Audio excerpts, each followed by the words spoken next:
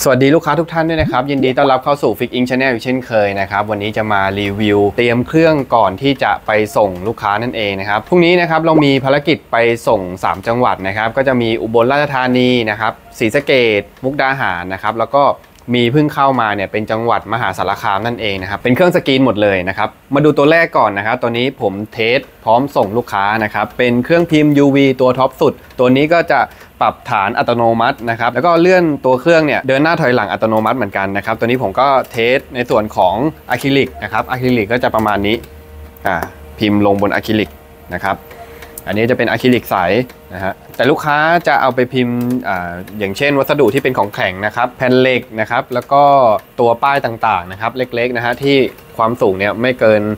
7-8 เซนนั่นเองนะครับในส่วนของระบบตัวนี้นะครับที่ผม test อยู่ก็จะเป็นอะคริลิกสีดำนะครับเป็นรูปปลาอยู่ก็พิมพ์ทั้งสีด้วยขาวด้วยนะครับในระบบของ UV นะครับมีหมึกอยู่ 2 ตัวนะครับมีสีขาวด้วยนะฮะแล้วก็ระบบของสีนั่นเองนะครับเราสามารถพิมพ์สีขาวอย่างเดียวก็ได้นะฮะหรือจะพิมพ์แต่สีอย่างเดียวก็ได้นั่นเองนะครับตัวนี้ก็กำลังเทสอยู่ใกล้เสร็จเรียบร้อยนะครับตัวหน้าปัดก็ใช้งานค่อนข้างที่จะง่ายนะฮะในส่วนของตัวนี้นะครับตัวฐานเดินหน้าถอยหลังนะครับแล้วก็ตัวนี้ปรับฐานขึ้นลงนะการใช้งาน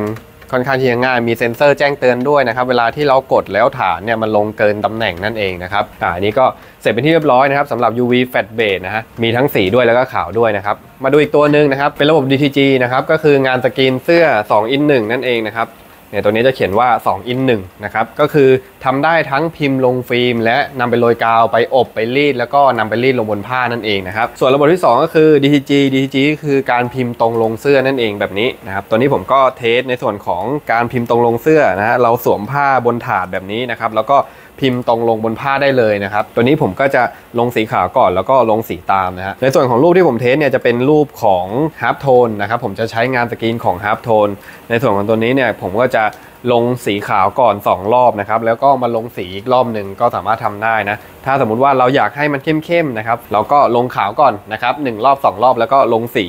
ตามได้เลย แต่ถ้าไฟล์ไหนนะถ้ามันเข้มอยู่แล้วนะครับ อย่างเช่นที่มีสีดำสีน้ำเงิน สี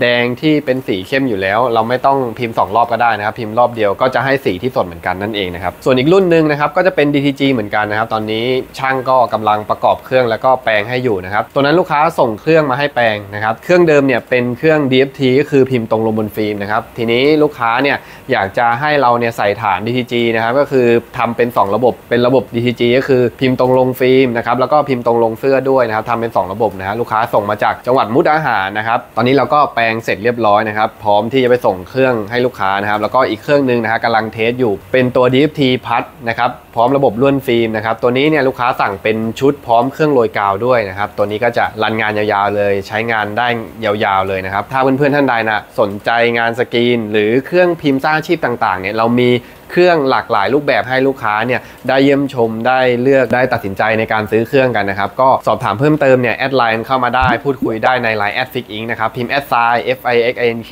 นะครับหรือเบอร์โทรศัพท์ที่ขึ้นอยู่บนหน้าจอนี้นะครับวันนี้ Fixink Channel ขอลาเพื่อนๆไปก่อนแล้วเจอกันใหม่ในคลิปหน้าสวัสดีครับ